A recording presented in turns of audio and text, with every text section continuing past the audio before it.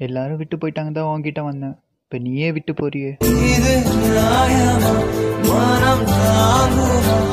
என் ஆசைகள் அது